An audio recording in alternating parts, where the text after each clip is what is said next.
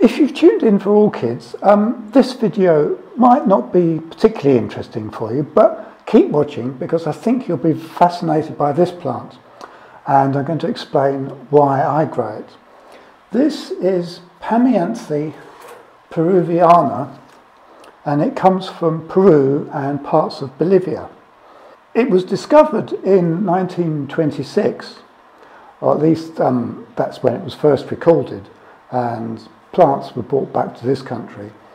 I've had it living here for about the last two years, and that's why I started off filming here so you can see where it normally grows.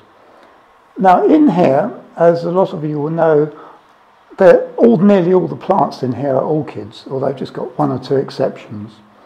And this is what orchid growers would call an intermediate uh, greenhouse. So um, not particularly warm, not particularly cold, but quite humid. And I wasn't sure whether it would get enough light down here. It does get quite a lot of indirect light, although it doesn't get the sun. And it seems to been perfectly happy, and I'm absolutely thrilled because this is the first time it's flowered for me. I've had it for about three years, and it has grown really well. Now, before I say any more, I'm going to reconvene at a more comfortable position so that I can talk to you about it.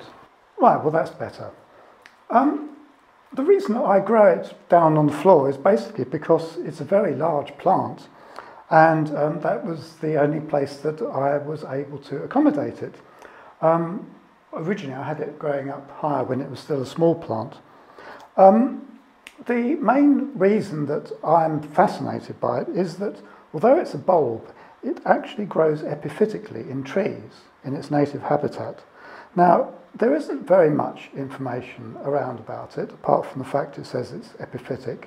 It is now presumed to be extinct in the wild, although I think that means that it hasn't actually been recorded um, recently, or since it was first discovered. Hopefully there are still some left in the wild. So it needs basically the same conditions as orchids, which is why I give it exactly the same treatment as nearly all my orchids. You can see that I've got it in, um, let's just take this outer pot off. See, I've got it growing in a pot with holes in to give it plenty of air movement to the roots. And you can see it has a fabulous root system. They are sort of a bit like some orchid roots in a way, in that they're sort of quite hairy now, although it's called epiphytic, I don't know whether it actually grows clean to trees. I would suspect that more likely it grows in the sort of debris that accumulates on the top of large branches or in the sort of uh, angle between a branch and a trunk. And I've repotted this three times, and on each occasion I've tended to sort of set it a bit more upright. But no, every time it bends over. And that apparently, I gather, is the way that it grows in the wild because it kind of makes sense. If it's growing out from the, a tree branch, um, it needs to get as much light as possible. So it would be pointless if it grew leaves upright. Gradually, as the old leaves um, become old, they gradually sort of wither and die off and leave these sort of papery husks around the base of the stem. The other, apart from it being epiphytic, which is not what you expect with um, most bulbs, the other huge um, sort of attraction for me was the beautiful, absolutely exquisite flowers have a, also exquisite perfume, really a lovely sort of lily-like perfume, not the sort of overpowering, sort of cloying, heavy scent that you get with some sort of oriental and trumpet lilies, but a much more interesting and complex smell. It smells nearly all the time, certainly during the day, but most abundantly in the evenings after dark. So one assumes, and it says on the internet that it's moth pollinated, although very little, as I say, is known about it. Um, what else can I say about it? Yes, the so as I say, it's basically just growing in um, medium orchid bark because the being an epiphyte, the key, as with many orchids, is that it mustn't remain wet and soggy for very long. So it's a very free draining compost. Um, the humidity in here is very high for my orchids.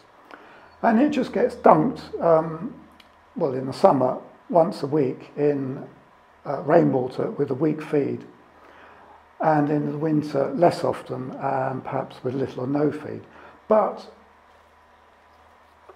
differing from the orchids, I do actually sprinkle about a teaspoonful of slow release um, fertilizer granules on the surface of the compost at the beginning of the growing season, just so that it gives it a bit more uh, nutrients than the orchids would like.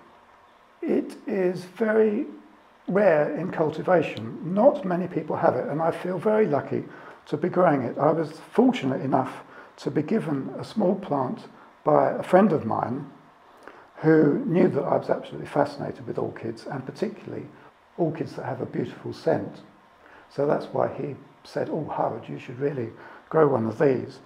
And the interesting thing is that after a while, apparently it produces stolons from the base of the plant, which grow out and form small new plants. This hasn't shown any signs of it yet, um, but it has, a, it has at least flowers. So I'm hoping that mine will start doing that eventually, because plants are very rarely offered for sale. The other way that you might be able to start growing it is from seed. Now, there are some very informative and interesting videos on YouTube produced by a lady in Ireland who, and I'll put the, the link um, down below so that you can have a look at her videos. She has grown um, it from seed on two occasions and brought one of them up to flowering. It takes about four or five years from seed, but it's apparently it's not too difficult to grow them from seed and they grow really rapidly. In fact, I would say that they're much easier to grow than a lot of the orchids that I have. Oh, and lastly, apparently the flowers are very long lasting.